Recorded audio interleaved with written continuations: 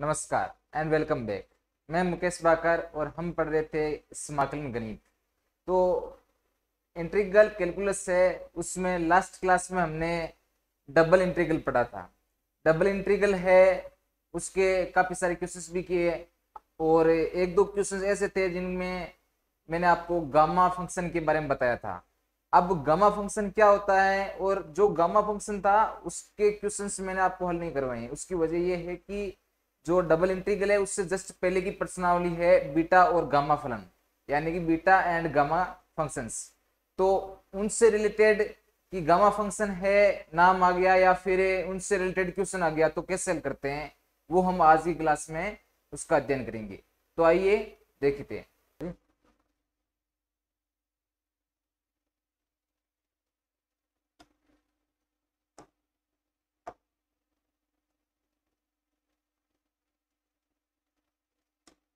अब देखो gamma function क्या होता है?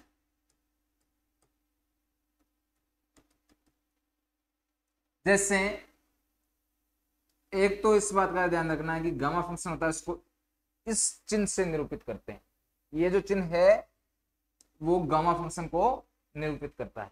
अब गामा फ़ंक्शन का क्वेश्चन कैसे आएगा कि मैंने लिख दिया जैसे कि ये एन ठीक है? तो यहाँ पे इसका सॉल्यूशन होता है एन माइनस वन फैक्टोरियल या फिर फैक्टोरियल को इससे भी प्रदर्शित करते हैं और एक फैक्टोरियल ये भी होता है। अब देखो कैसे कि मैंने लिखा चार, ये गामा चार। तो इसमें क्या करना है आपको कि सबसे पहले फैक्टोरियल ऑफ़ तीन तो इसको मैं क्या लिखूँगा? Three into two into one into factorial one अब है इसका मान हो जाएगा सिक्स ठीक है? तो इस तरह से आपको गामा फ़ंक्शन है, उसको हल करना है। अब बाय द वे कई बार अपने आ जाता है बट्टा में क्वेश्चन के जैसे कि मेरे पास में ये आ गया कि मान लो तीन बट्टा दो और ये आ गया। इसमें क्या रूल होता है? कि पहले एन ठीक है? डॉट एन माइनस वन तो लिखते ही हैं। या फिर उसी के अकॉर्डिंग जैसे मैं क्या लिखूँगा? एन माइनस वन फैक्टोरियल तो तीन बटा दो माइनस वन क्या होता है? एक बटा दो। तीन बटा दो माइनस वन अरे कैसे कि इनका एल एलसीएम आ गया, ये आ गया तीन माइनस दो तो आ गया एक बटा दो। डॉट ये आता आपके फैक्टोरियल एक बटा दो। सॉरी गामा इसमें ये कर देना। इसका मान होता है पाई जो कि जब हम बीटा और गामा फ़ंक्शन को हल करेंगे तब आप इसका आ, मान आप जान जाओगे किस तरह से मान निकालते हैं। तो अब मुख्यतः आपको बस यही ध्यान रखना है कि जो भी फ़ंक्शन आते हैं गामा फ़ंक्शन आ गया जैसे कि ये छह आ गया, आठ आ गया, दस आ गया, नौ आ गया, जो भी संख्या हो, और ये गामा फ़ंक्शन के रूप में आ जाती है तो हमें फैक्टोरियल के रूप में पहले चेंज कर देता ना, देना है, यानी कि फैक्टोरियल एन माइनस वन और उसके अकॉर्डिंग हमें इसके मान निकालने अब है, कुछ क्वेश्चन ऐसे होते हैं जिसमें, जैसे कि साइन और कोस की पावर में दे दिया जाता है तो उनके भी कुछ फॉर्मूलेज होते हैं, उन फॉर्मूलों के अकॉर्डिंग है, हमें क्वेश्चनों को हल करना है।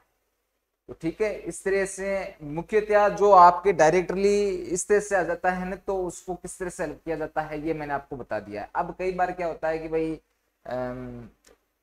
क्वेश्चन थोड़ा सा डिफ़िकल्ट आ जाता है, जिसमें कुछ ट्रिक्नोमेट्रिक के फलन दे दिए जाते हैं तो उस स्थिति में उनके फॉर्मूलों के अकॉर्डिंग ही क्वेश्चन हल होगा। ऐसे नहीं कि आप बस मन चाहे इसमें ये लगा रहे हो। एक होता है बीटा फलन बीटा फलन और गमा फलन, दो होते हैं। उन दोनों के बीच में संबंध बीटा फलन क्या होता है गमा फलन क्या होता है, इन सभी की चर्चा हम एक जो एक एक्सरसाइज है अपने बुक में तो उसी में हम इनका समाधान करेंगे क्वेश्चन को हल करेंगे ताकि अपने आराम से समझ में आ जाए। तो ये जो टॉपिक है अपना है डबल इंट्रीगल डबल इंट्रीगल में हमें द्विस्माकलन करना है, जिसमें हम, है लिमिट हमें दी हुई होगी और dx और dy के सापेक्ष किस तरह से किया जाता है ये हम बीटा और गामा फलन सॉरी बीटा नहीं, गामा फलन ले रहे हैं। गामा फलन लेने का उद्देश्य हमारा ये है कि जो क्वेश्चन है उनके हल थोड़े से इजी हो जाए।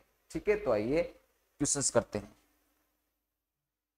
अब जैसे कि हमारे पास में ये क्वेश्चन आ गया। R sine theta D theta D R और इसमें लिमिट ज़ीरो से पाई बाय टू और सेकेंड वाली है ज़ीरो से ए कोस थीटा ठीक है? तो अब इस स्थिति में क्या करना है अपने को? सबसे पहले तो इस आर साइन थीटा का किसके सापेक्ष कर रहा है? डी आर के सापेक्ष करना है। क्यों करना है भाई? क्योंकि जो द्विस्माकल है, द्विस्माकल में हमने प्रत्येक क्वेश्चन में यही पढ़ा है कि जो लास्ट वाला जिसके सापेक्ष हम समाकलन करते हैं, उसको फ़र्स्ट वाले के साथ हम करते हैं। ये इंट्रीगल इधर से फ़र्स्ट वाला होता है और इधर से ये लास्ट वाला होता है और इसका समाकलन किया जाता है इसके सापेक्ष। ठीक है? तो मैं इसको क्या लिखूँगा कि यहाँ पे मैंने लिख दिया ज़ीरो से पाई बाई टू। और ये हो जाएगा आपके ब्रेकेट में इसको बंद कर दो तो ये हो जाएगा ज़ीरो से A cos theta R sine theta D R और ये हो जाएगा डी थीटा। क्लियर है भाई इतना? अब इसमें क्या करना है? यहाँ से हमें लिमिट दी हुई है ज़ीरो से पाई बाई टू, और इसमें है ज़ीरो से एक cos theta, R sine theta D R यानी कि हमें यहाँ पे आर के सापेक्ष इसका समाकलन करना है। तो आर के सापेक्ष इसका समाकलन क्या होगा? हमें साइन थीटा से कोई लेना देना नहीं है। साइन थीटा यहाँ पे पड़ा है तो उसको पड़ा रहने दो। साइन थीटा से हमें कोई लेना देना नहीं है। तो मैं इसको क्या लिखूँगा? ज़ीरो से पाई बाई टू और ये हो जाएगा आपके क्या? Sine theta dot R square upon two और लिमिट होगी ज़ीरो से A cos theta and D theta पता है किससे हुआ? यहाँ पे जो साइन थीटा था, उसको मैंने कॉन्स्टेंट मान लिया या फिर इसको बाहर दिया तो हमें आर का, इस आर के सापेक्ष समाकलन करना है। तो आर का आर के सापेक्ष समाकलन हम एक्स की पावर एन के अकॉर्डिंग जानते हैं कि एक्स की पावर एन इक्वल टू क्या होता है? एक्स की power N plus one upon N plus one तो उसी के अकॉर्डिंग यहाँ पे मेरे, मैंने क्या लिखा कि आर स्क्वायर अपॉन अब है, इसमें हम क्या जानते हैं कि upper limit minus lower limit होता है तो अपर लिमिट यहाँ पे क्या दी हुई है? एक कोस थीटा कहाँ पे रखनी है? आर की जगह। ऐसे नहीं है कि आप यहाँ पे थीटा की जगह रखने लग जाओ, है ना? यहाँ पे यदि हमने आर के सापेक्ष समाकलन किया है तो मान भी हमें आर की जगह ही रखना है। तो ये हो जाएगा आपके ज़ीरो से pi by two sine theta है। या फिर आप यहाँ पे ऐसा भी कर सकते हो कि एक but sine theta upon two है, उसको बाहर कर दो। और आर की जगह हमें मान रखना है। तो आर की जगह मैंने ये रख दिया A cos theta minus zero और ये हो गया डी थीटा कोई कंफ्यूजन नहीं है अभी तक। अभी तक मैंने केवल अपर लिमिट का मान रखा है और अपर लिमिट माइनस से लोअर लिमिट किया ठीक है इतना? अब देखो, यहाँ से हो जाएगा ज़ीरो से पाई बाई टू और यहाँ पे मान रखेंगे तो मैं इसको क्या लिखूँगा? A cos theta dot sine theta upon two और ये हो जाएगा डी थीटा ठीक है? अब हमारे पास में ये है A cos theta dot sine theta upon two और समाकलन करना है हमें ज़ीरो से पाई बाई टू के बीच में। हाँ अरे हाँ सॉरी यहाँ पे जैसे यार स्क्वायर है ना तो ये भी स्क्वायर कर दिए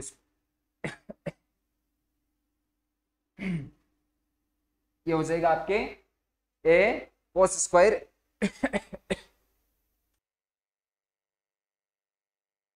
A square cos square theta dot sine theta upon two तो यहाँ से हम है ए स्क्वायर अपॉन टू को बाहर ले लिया। तो यहाँ से क्या हो जाएगा, ज़ीरो से फाइव बाई टू और theta dot sine theta and ये हो गया ठीक है? हमें स्मगल करना है ज़ीरो से फाइव बाई टू और cos square theta dot sine theta D theta तो यहाँ पे आप जो हम गामा और बीटा फलन पढ़ते हैं ना, उनमें एक सूत्र होता है तो मैं आपको बता देता हूँ। सूत्र ये होता है कि ज़ीरो से पाई बाई टू है तो ज़ीरो से पाई बाई टू साइन की पावर एम थीटा डॉट या तो साइन की पावर लेना चाहते हो तो साइन की पावर ले लो, और यदि कोस की पावर है तो कोस की पावर भी, अरे वो तो हम ये तो जानते हैं ना कि इसमें ऊपर नीचे कुछ भी लिख सकते हैं हम। आगे पीछे, यानी कि यदि इसकी पावर एम लिख दो चाहे उसकी पावर एन लिख दो आगे पीछे लिखने से इसमें कोई मतलब तो है नहीं। चाहे पहले ये वाला लिख दो, चाहे बाद में वो वाला लिख दो। एक ही बात है। तो ये जो है, वो होता है गामा। गामा को हमेशा इसी चिन्ह से निरूपित करते हैं। इस चिन्ह का ध्यान रखना कि ये जो चिन्ह है, वो किस तरह से लिखते हैं।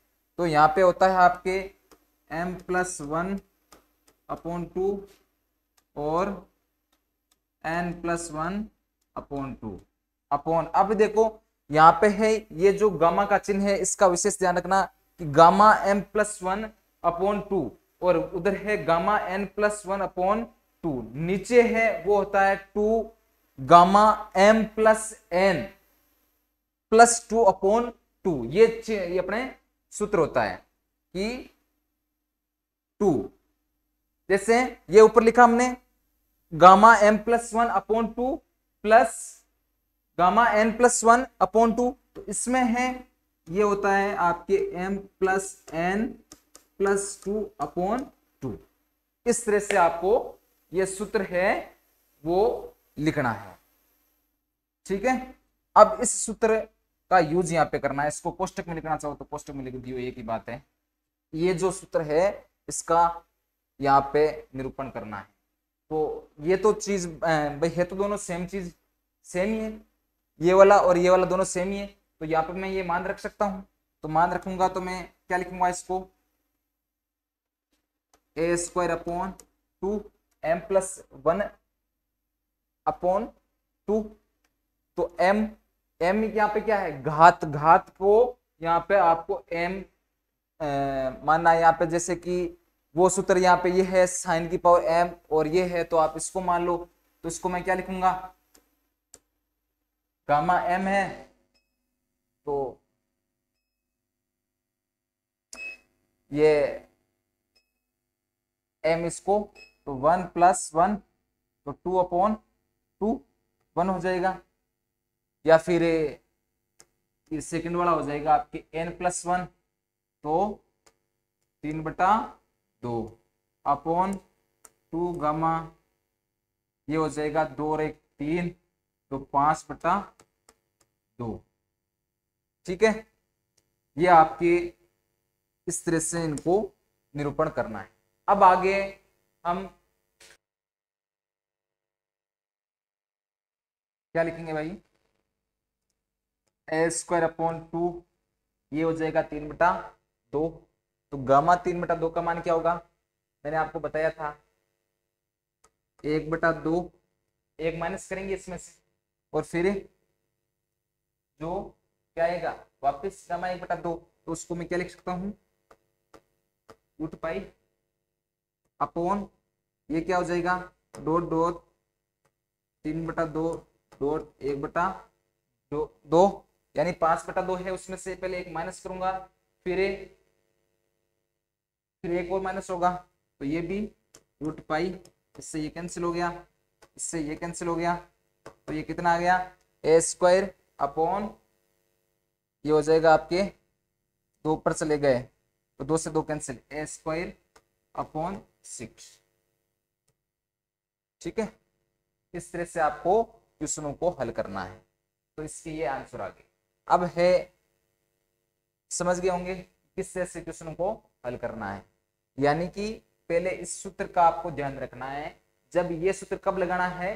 जब आपको साइन और कोस है, उनकी गाते एम और एन में दी गई है और समाकलन ज़ीरो से पाई बाई टू दिया गया है, तब आपको ये सूत्र यूज़ में लेना है और इस क्वेश्चन को हल करना है। तो इनके जो गामा के मान निकालना आपको आगे होंगे। गामा के मान कैसे निकालते हैं कि यहाँ पे देखो, मैंने जो डायरेक्ट लिखा है, उसका मतलब जानते हो ना आप कि यहाँ पे तीन बटा दो था। इसमें से एक पहले माइनस होगा तो मैंने लिखा एक बटा दो। और फिर सेकंड वाला हो गया है आपके, फिर से वापस वही होगा, एक बटा दो रूट में। तो उसको मैं क्या लिखता हूँ? बस, इसमें भी ऐसे ही किया कि पाँच बटा दो था, उसमें से एक माइनस किया, फिर एक माइनस किया, और फिर ये रूट पाई आ गया। क्लियर है इतना? तो इस तरह से आपको इक्वेशनों को हल करना है। अब देखो आपकी नेक्स्ट क्वेश्चन जैसे कि जो अपने दूरी निर्देशांकों से रिलेटेड है तो उसको कैसे हल करेंगे? तो देखो, ये है हमारे पास। निम्न समाकल को ध्रुवीय निर्देशांकों में परिवर्तित कर मान ज्ञात कीजिए, जिसमें ज़ीरो से ए और वाई से A X D X D Y upon X square plus Y square ये क्वेश्चन है। तो अब इस क्वेश्चन कैसे हल करेंगे? तो देखो, सबसे पहले है, हम यहाँ पे लिमिट्स रखेंगे। लिमिट्स हमें पता होनी चाहिए कि लिमिट्स किसकी क्या क्या है। तो जब हम यहाँ पे देखें तो जो पुरानी लिमिट्स है ओल्ड लिमिट्स बात करें हम, बाद में है, जैसे हम व्यंजन को चेंज करेंगे तो उसकी लिमिट्स उसके अकॉर्डिंग बदल जाएगी। तो यहाँ पे है, सबसे पहले है ज़ीरो से ए वाई से ए तो ये जो लिमिट्स है, वो किसके सापेक्ष है? वाई के सापेक्ष जब समाकलन करें तब तो वाई बराबर लोअर लिमिट क्या है? एक तो है जो कि आपके y के सापेक्ष समाकल करेंगे तब। सेकेंड वाली होगी, जब हम x के सापेक्ष समाकल करें तब। तो एक तो y बराबर हो जाएगी ये y एंड अपर लिमिट क्या है? Y equal to A second वाली, x बराबर एक है ज़ीरो एंड अपर लिमिट है x बराबर ए ठीक है? तो इनके अकॉर्डिंग हम चित्र बनाते हैं पहले।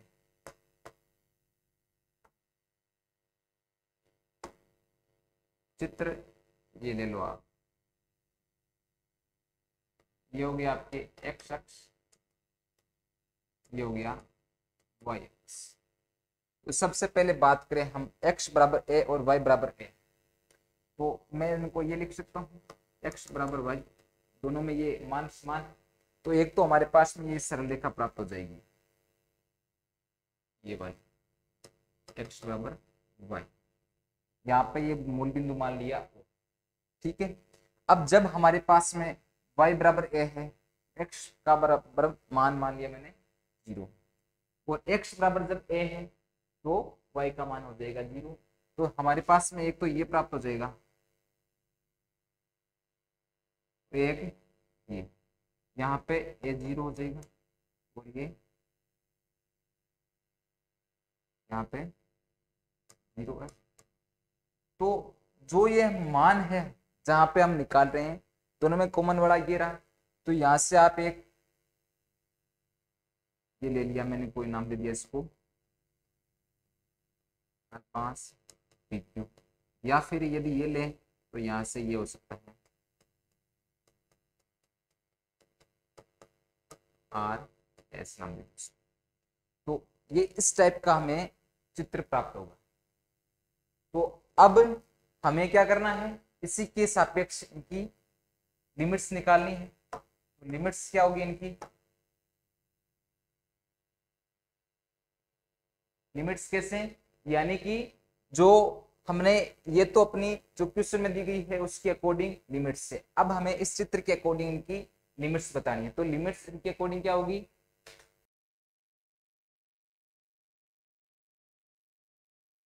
एक तो हो जाएगी आपके न्यू लिमिट्स यहाँ पे नाम लिख देना। एक तो x बराबर ज़ीरो है तो हमारे पास में ये रहने वाली है x बराबर ए, यहाँ पे ज़ीरो थी ये ए रहने वाली, y वाली जब y बराबर एक तो हो जाएगी आपकी ज़ीरो, एक हो जाएगी वाई बराबर, कौन सी लिमिट हो जाएगी? एक्स ये हमारे पास में न्यू लिमिट्स हो। अब उनके अकॉर्डिंग हमें क्या करना है? लिमिट्स का मान रखना है। तो लिमिट्स का मान क्या रहेगा भाई? दोनों समाकलन लिख दो। X upon X square plus Y square D X D Y इनकी लिमिट क्या क्या रहेगी? फ़र्स्ट वाली की तो ज़ीरो से और इसकी हो जाएगी ज़ीरो से एक्स ये रहेगी। तो अब है इनका क्या करेंगे हम? समाकलन। समाकलन कैसे करेंगे? तो ये हो गया ज़ीरो से ए और ज़ीरो से एक्स इसकी लिमिट है। X upon X square plus Y square, इसका समाकलन करना है किसके सापेक्ष? वाई के सापेक्ष से समाकलन करना है। तो इसको ब्रैकेट में लिख दो, ज़ीरो से एक्स, और ये हो जाएगा आपके X upon X square plus Y square D Y, और ये हो जाएगा डी एक्स। तो ज़ीरो से ए और ये हो जाएगा आपकी, इसका समाकलन करोगे क्या हो जाएगा? Tan inverse Y upon X करके देख लियो। और ये हो जाएगी लिमिट ज़ीरो से एक्स और ये हो गया डी एक्स अब हमें क्या करना है? y की जगह इसका मान रखना है। y की जगह मान क्या है? Upper limit minus lower limit upper limit क्या है यहाँ पे? x x ये एक्स रखो। ये हो जाएगा ज़ीरो से ए और ये हो गया टेन इनवर्स y की जगह क्या रखना है? एक्स रखना है। तो एक्स अपॉन एक्स माइनस क्या हो जाएगा? ज़ीरो हो जाएगा ऑलरेडी तो ये हो गया ज़ीरो। किसके सापेक्ष कर रहे हैं हम समाकलन एक्स के सापेक्ष। ठीक है? तो टेन इनवर्स से x अपॉन एक्स इसको मैं वन लिख सकता हूँ। ज़ीरो से a, ये हो जाएगा आपके tan inverse one tan inverse one क्या होता है? ये है dx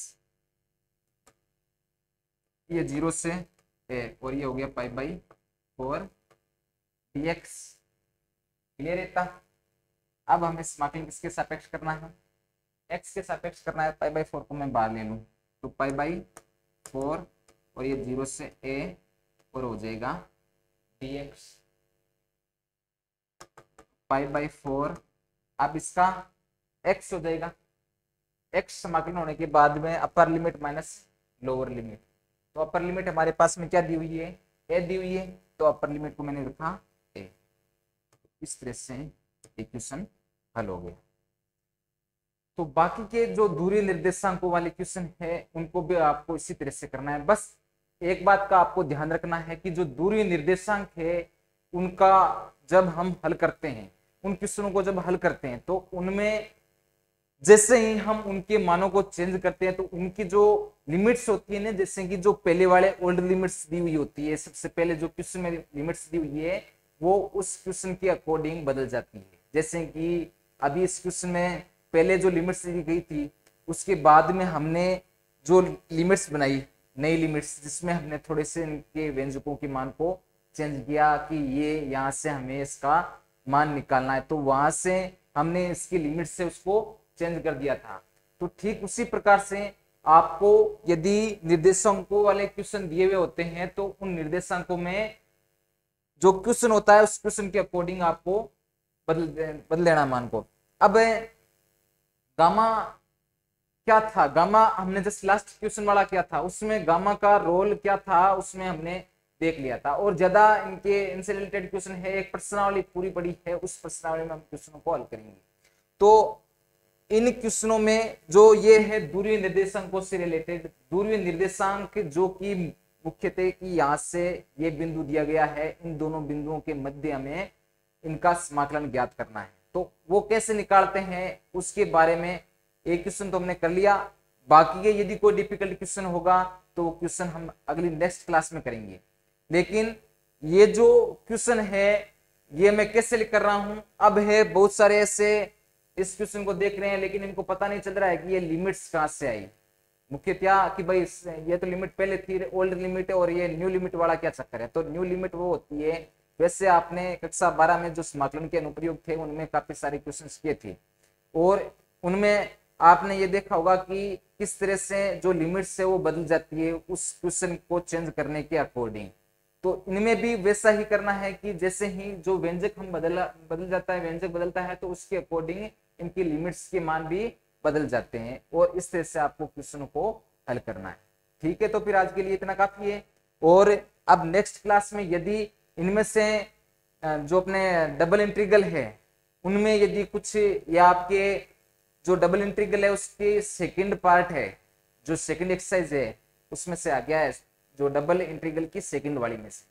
तो दो चार क्वेश्चन है, पाँच क्वेश्चन है लास्ट शायद पाँच या छह क्वेश्चन होंगे। तो उनमें यदि और कोई डिफिकल्टी होगी तो मैं और भी क्वेश्चन करा दूँगा। लेकिन जो क्वेश्चन आपको करा दिए जाते हैं, उनको आप एक बार घर पे मिलाना, ताकि आपके आराम से कंप्लीट रूप से समझ में आ जाए। तो आज के लिए इतना काफ़ी है धन्यवाद। कल फिर मिलेंगे। Good bye.